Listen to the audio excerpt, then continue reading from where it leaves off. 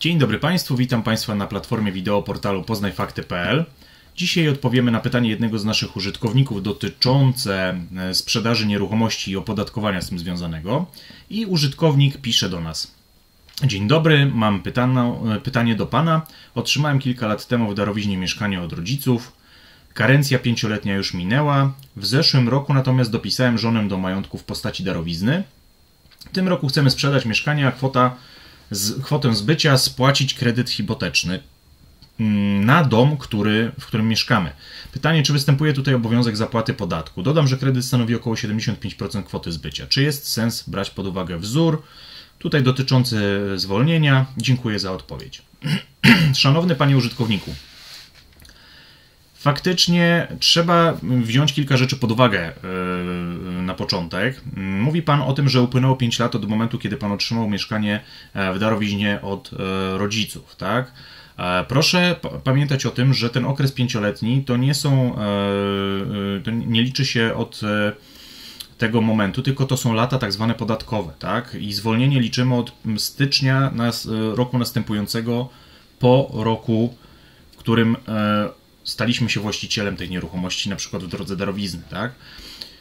Więc tutaj przede wszystkim trzeba byłoby sprawdzić, czy faktycznie te 5 lat upłynęło. Jeżeli tak, to częściowo możemy tutaj mówić o spełnieniu tego warunku, żeby być zwolnionym z tego, e, z tego podatku. Nie rozumiem też do końca jednej kwestii, którą tutaj Pan przedstawia, ponieważ pisze Pan do nas, że w zeszłym roku dopisał Pan żonę do majątku w postaci darowizny. Czyli mm, rozumiem, że żona została współwłaścicielem tego mieszkania w części równej, e, bo to jakby bezpośrednio wynika z tej, z tej treści. E, no chyba, że Pan przepisał na żonę cały majątek, tak? No tutaj też jest kwestia sporna, ponieważ nie wiemy dokładnie, jaka jest ta struktura właścicielska i jakie informacje zapisane są przede wszystkim w księdze wieczystej tego mieszkania. Proszę pamiętać, że jeżeli Państwo będą chcieli zbyć to mieszkanie, to dla notariusza istotne są treści, które są zapisane w księdze wieczystej. Tak więc nie wiem, czy w, e, ze względu na jakieś opóźnienia dotyczące wpisów do ksiąg wieczystych, czy te zmiany już są w tej księdze ujawnione, tak? To też trzeba byłoby sprawdzić. Natomiast jeżeli w tym roku Państwo chcą sprzedać mieszkanie, E, a zmieniła się ta struktura właścicielska i ktoś inny jest właścicielem i nabył to mieszkanie w drodze darowizny od pana, jest to żona, to też liczy się dla żony karencja pięcioletnia. I tutaj warto oczywiście byłoby się zastanowić nad tym, czy Państwo nie chcą po prostu zaczekać, żeby skorzystać z pełnego zwolnienia, tak? Oczywiście, może sytuacja Państwa zmusza do tego, żeby ten e, kredyt mieszkaniowy, o którym tutaj Pan wspomniał, spłacić, ze względu na, nie wiem, no wyższe stopy procentowe, obecną sytuację, tak gospodarczą i tak dalej, e, ale to też jest kwestia do rozważenia. Natomiast jeżeli decyzja, decyzja już jest podjęta, no to trzeba po prostu pamiętać, że można skorzystać z ulgi mieszkaniowej, która pozwala nam przeznaczyć środki uzyskane ze zbycia nieruchomości, nawet przed upływem tak, tego pięcioletniego okresu, na własne cele mieszkaniowe. Co to są własne cele mieszkaniowe? E, jest to na przykład nabycie budynku mieszkalnego, nabycie spółdzielczego własnościowego prawa do lokalu mieszkalnego, nabycie gruntu pod budowę budynku mieszkalnego, czy też budowa, rozbudowa, adaptacja lub remont własnego budynku mieszkalnego bądź lokalu mieszkalnego. Więc mamy do czynienia z czynnościami, które charakteryzują się jakąś budową czy też nabyciem nowego lokalu, ale za wydatki na własne cele mieszkaniowe uznaje się też wydatki na spłatę kredytów wraz z odsetkami, oczywiście kredytu hipotecznego na nabycie e, nieruchomości, która ma spełniać rolę własnego mieszkania, tak? W ramach własnych potrzeb mieszkaniowych. Jest to o tyle istotne, że nie można e, tutaj mówić o jakimś dodatkowym mieszkaniu, które na przykład Państwo zakupili na mm, wynajem, tak? ponieważ e, mowa jest stricte o własnych potrzebach mieszkaniowych, więc trzeba o tym pamiętać, ponieważ Urząd Skarbowy w sytuacji e, spłaty kredytu na mieszkanie, które, w którym Państwo nie mieszkają, jest to mieszkanie stricte e, nabyte na wynajem, tak?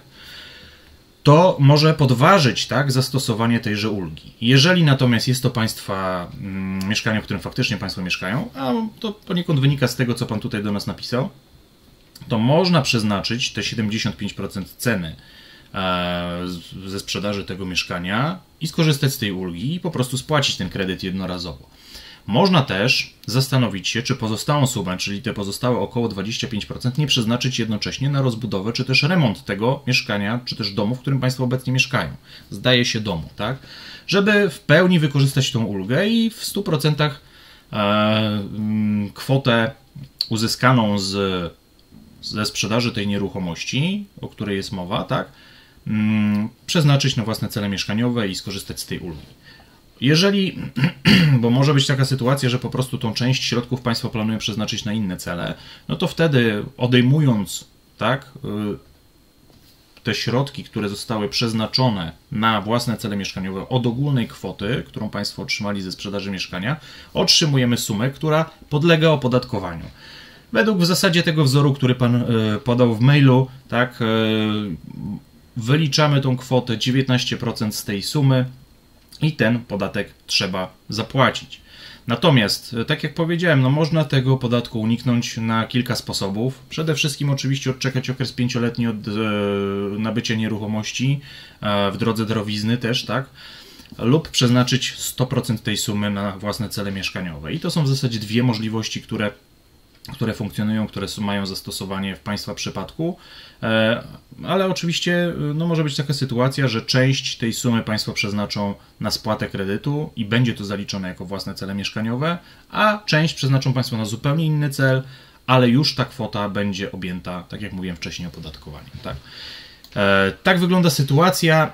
Natomiast no, jeżeli by były jeszcze jakieś pytania tak, dotyczące tej tematyki, dotyczące e, jakiejś struktury majątkowej no, w tym mieszkaniu, czy też ksiąg wieczystych, bo ja nie do końca wiem, jaka, w jakiej formie obecnie funkcjonuje własność tego mieszkania, o którym Pan mówi. Zakładam, że Pan przeznaczył e, przekazał to mieszkanie w darowiźnie żonie, tak? I dlatego w tej chwili nie mogą Państwo skorzystać z tej ulgi E, ponieważ e, z tego, przepraszam, z tego zwolnienia ze względu na brak upływu 5 lat mm, karencji. Jeżeli jest jakaś inna sytuacja, to proszę przesłać do nas e, informacje i też postaramy się odpowiedzieć na, na to pytanie, tak? Z, mając też do dyspozycji więcej informacji dotyczących stanu faktycznego, tak? który jest w Pana przypadku obowiązujący. E, z mojej strony to wszystko. Zachęcam do przesyłania pytań oczywiście na naszą skrzynkę kontaktową pod adresem kontaktmałpa.poznajfakty.pl a Państwa serdecznie pozdrawiam. Do zobaczenia.